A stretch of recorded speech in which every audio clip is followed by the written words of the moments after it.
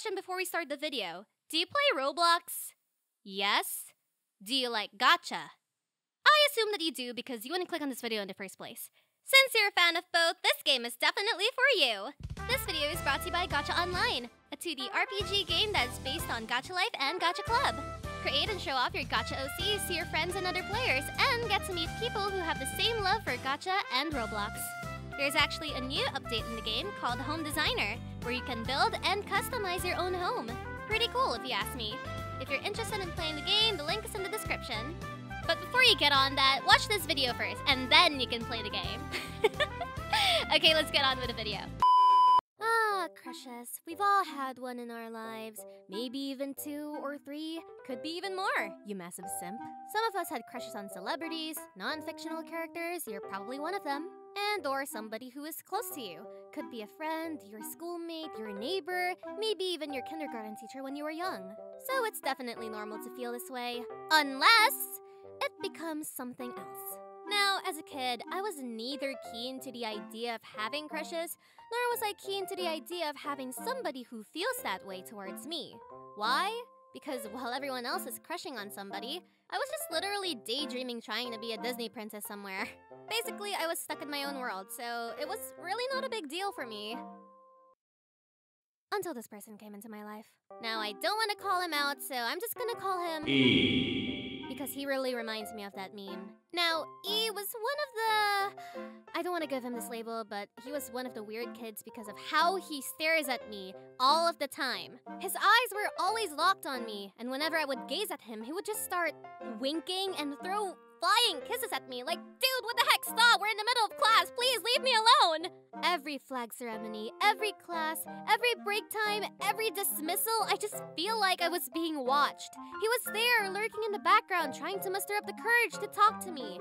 And whenever he does try to strike up a friendly conversation, he would always, always lean in to kiss me. God knows how many times I slapped and pushed him for those. Thankfully, because of my reflexes, most of his attempts flopped. Why did I say most and not all? Well, unfortunately, there were two instances where he succeeded. The first one was against my own will, because believe it or not, a teacher was involved. This happened at around third grade, if I'm not mistaken.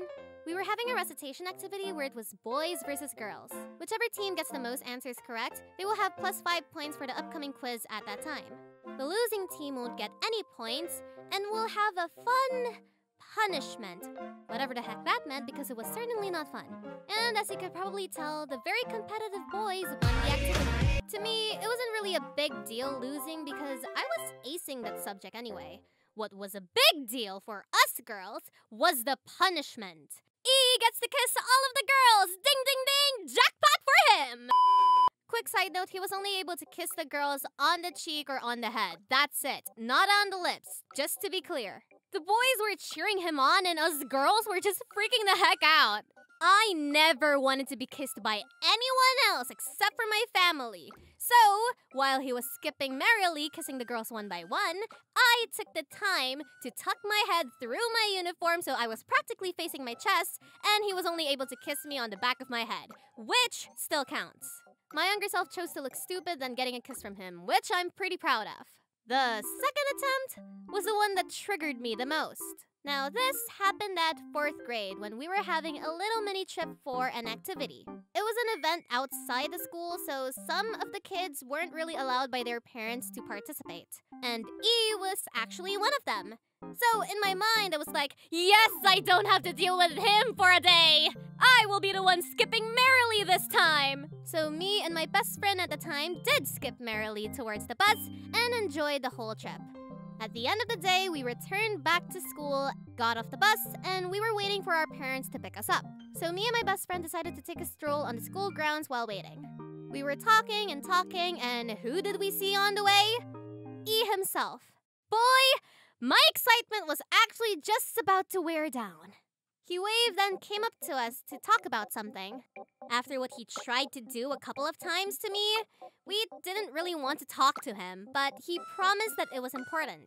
So I gave him the benefit of the doubt and decided to listen. But that was a big mistake. So then he was whispering something to me, and the only phrase that I understood was, I love you. And before I could even react, he took advantage of that moment and decided to kiss me right there on my cheek. Then he ran off.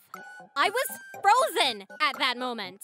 I dashed off to the washroom immediately, and I was washing my face for a whole 20 minutes non-stop. That's how affected I was. I was actually crying when I got into the car. My mom was wondering why, and I told her about what happened, and she was just like laughing at it. Oh my gosh, you got your first kiss! You're gonna get pregnant!